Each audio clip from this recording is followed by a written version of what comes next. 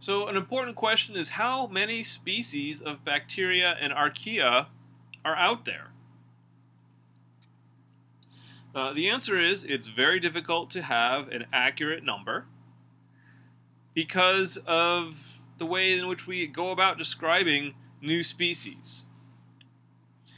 Uh, upon a time, one of the best ways to find bacteria was to culture them, was to take a sample from the environment or from uh, an affected organism if you were trying to find the cause of a, an agent of disease, a causal agent, and you would culture it. You put it on a petri plate and see if it grew. And if it did grow, you could try and get it into a pure culture. So it was all by itself. There weren't any other species, just one single species on that plate. And as it turns out, there are a large number of uh, archaea and bacteria that are not culturable. They will not grow uh, in isolation. They won't grow on petri plates for any of a number of reasons. Uh, just like there are a number of animals that are not domesticable. Uh, you're not going to go out and find a, a salamander and teach it to do tricks for you. Uh, bacteria work the same way. They don't necessarily uh, want to perform for us, so they won't necessarily grow uh, in uh, in culture plates. So how do we know if we can't culture them? How do we know these bacteria are out there? Uh, well, one way in which we know that they are out there is through a process called metagenomic prospecting.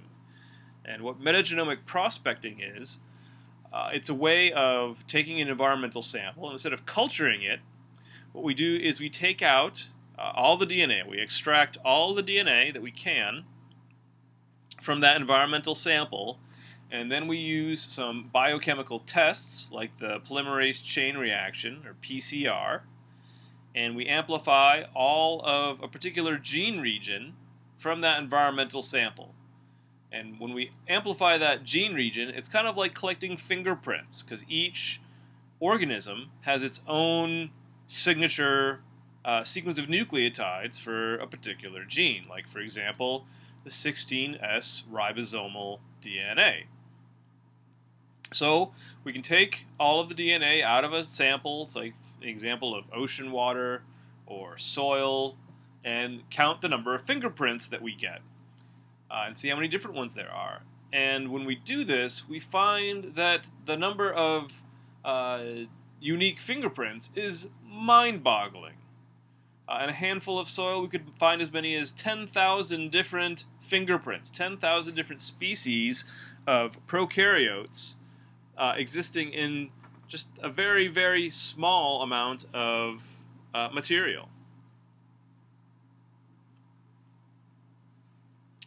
Uh, that said, we can consider a little bit of the diversity of the prokaryotic lineages, the archaea, and the bacteria. And you can see here, as I've been saying, that uh, prokaryotes are not a taxon.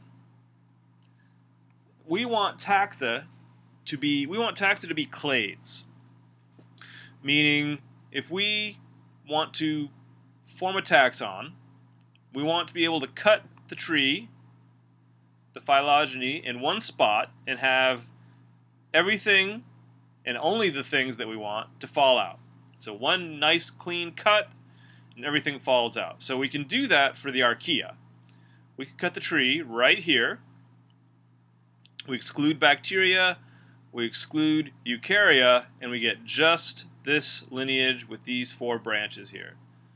And that's the well-defined domain archaea. Similarly, we can do the same thing with eukaryotes. We can make one nice clean cut right here, and we have a domain eukarya. Uh, same with bacteria. We can make one nice clean cut right here, and only the bacteria branches would fall out. But if we wanted to cut, make one cut, and have only prokaryotes fall out, well, it's not fair to just cut the tree here, because you have to include all of the descendants of a single common ancestor. So here's our universal ancestor. Can we make one cut that includes all of the descendants of that ancestor and only the descendants of that ancestor? Not in a way that we can exclude eukaryotes and keep the archaea and bacteria together. So in the domain archaea, uh, we can argue about how many kingdoms there are. But for the ease uh, of our learning for this semester, we're just going to say there's one. We're going to call it the kingdom Archaebacteria. There are definitely four discrete, well substantiated lineages within the Archaea, uh, which I'll show you in a minute, and I just showed you in the previous slide. Uh, archaea, our archaebacteria, are gram-negative. Uh, they do not take the gram stain. But the reason that they don't take the gram stain is because they don't have peptidoglycan at all. They don't have that sandwich. Uh, they don't actually have peptidoglycan at all. So they are uh, they have that shared characteristic of being of not uh, absorbing gram stain, but uh, because of homoplasy. Gram-negative bacteria typically have peptidoglycan, but they have that extra layer on the outside, that membrane layer that prevents them from absorbing the stain. In the case of archaea, they don't have peptidoglycan, which is why they don't absorb the stain. Uh, they have something called pseudopeptidoglycan. The most famous archaebacteria are extremophiles, meaning they love extreme conditions. Maybe they love extreme heat, and they're thermophiles or they love extremely salty conditions, and they are halophiles. And by extreme salt, I mean even saltier than uh, ocean water. Ocean water is about 3.5% uh, salt by weight to volume. Uh, halophiles can tolerate up to 9%, or almost three times as salty as ocean water uh, conditions. Uh, acidophiles can grow at very, very low pH. Remember, very low pH means a very highly acidic condition. Uh, there are also archaeans that are methanogens, meaning they give rise to, they generate methane. methane uh, methanogens are strict anaerobes. They do not grow in the presence of oxygen. Uh, they produce methane gas, uh, also called swamp gas, although the swampy smell that you may be familiar with is from hydrogen sulfide, not from methane. Methane is odorless. Uh, but methanogens are important because they are decomposers. They can take uh, sources of carbon uh, from dead and decaying matter and recycle it, turn it into something that other organisms can use. Now, in addition, we know that there are some non extreme archaea out there. So here are four lineages of the archaea, the korarchaeotes, the euryarchaeotes, crenarchaeotes, and the nanoarchaeotes. Uh, the majority of known archaeans are in the Euryarchaeota. Eury is a prefix that means broad, reflecting that. Uh, this includes methanogens, extreme halophiles. It's, it's the biggest uh, branch in terms of the number of species. Uh, the Crenarchaeota. Kren comes from uh, a Greek word that means spring, like a, a, a spring, a body of water. Uh, because many of these organisms are found near uh, hot springs, where they are heated, springs that are heated by the Earth's um, core the Korarchaeota uh, are also found in hot springs. Uh, Kor Koros means young man. Uh, this is one of the most the, the newest lineages that have been found for uh, Archaeans. Uh, the Nanoarchaeota. Uh, nano means dwarf, and it's also a prefix we use that means billionth. Uh, like a nanosecond is a billionth of a second. Uh, but nano means dwarf.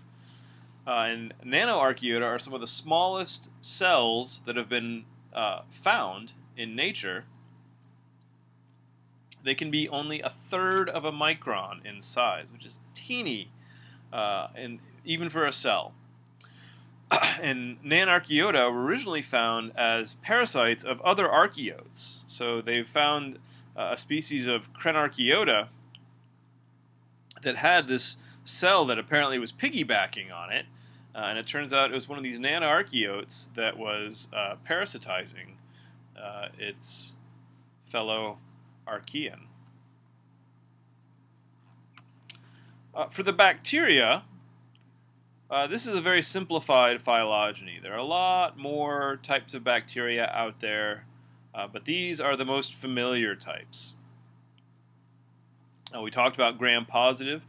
gram-positive bacteria form a monophyletic holophyletic lineage. So all of them, the gram-positives, are found here. So if a bacterium accepts the gram stain and turns purple, we know that it is a member of this clade, this uh, group that includes all um, descendants from a common ancestor. Uh, cyanobacteria are photosynthetic. Uh, spirochetes and chlamydias are most famous for uh, being pathogenic, but there are a number of other non-pathogenic species in there as well. And then the proteobacteria are very, very diverse, uh, so much so that we usually divide them into uh, smaller groups based on uh, Greek letters of the alphabet. So how many kingdoms within bacteria? Again, just to keep things simple, we're going to say there's the kingdom Eubacteria, or sometimes people just say the kingdom Bacteria. Uh, and that'll be our, our kingdom, just the one kingdom within the domain Bacteria. But the diversity uh, is very, very complex. So within the proteobacteria, you can see we've got several lineages, several clades. We've got the alpha subgroup, beta, gamma, delta, and epsilon subgroups, uh, which include things like this uh, mutualistic uh, rhizobium bacteria. Rhizobium is a genus of bacteria that has a mutualistic relationship with our leguminous plants. Leguminous plants are within the family Fabaceae, uh, and that includes all of our peas and our beans. Uh, acacia trees are also in that family. Uh, it is a very, very large family. And uh, this uh,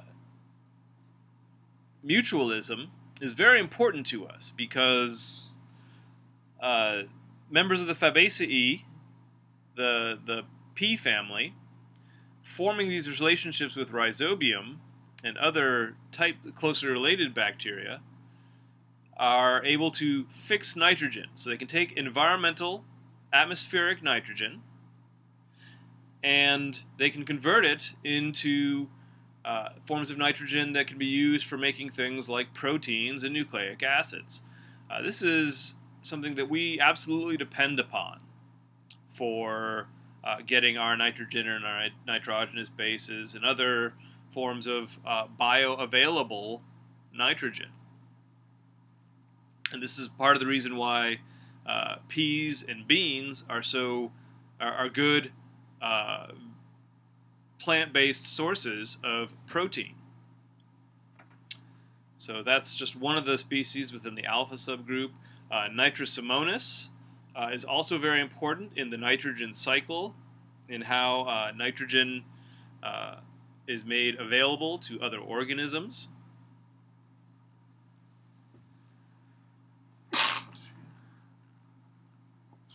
Excuse me.